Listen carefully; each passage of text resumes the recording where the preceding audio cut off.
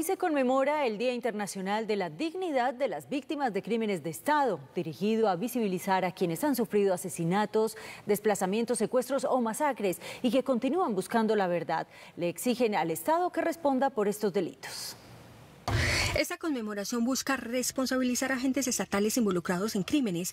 Para el movimiento de víctimas de crímenes de Estado es una oportunidad para recordar y prevenir la negligencia estatal.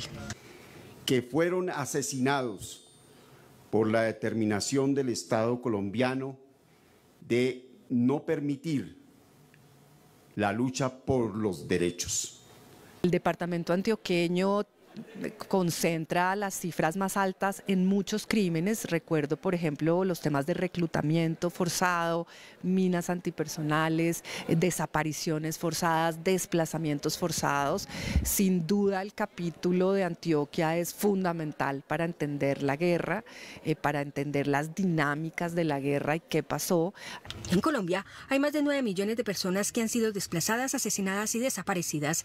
121 mil de ellas son víctimas de Estado que no han recibido reparación completa, buscan la verdad y la no repetición, condición que demandan del trabajo de Salvatore Mancuso como gestor de paz. Que cuente toda la verdad, toda, nombres completos, fechas, reuniones, sitios, lugares, y no vamos a cansarnos de seguir exigiendo a todos los criminales que cuenten la verdad. Colombia sigue siendo el país más peligroso para los defensores de derechos humanos en América, según el nuevo informe de la Comisión Interamericana de Derechos Humanos. En 2023, de los 126 asesinatos verificados en toda América Latina, 70 ocurrieron en Colombia, representando más del 55% de los casos.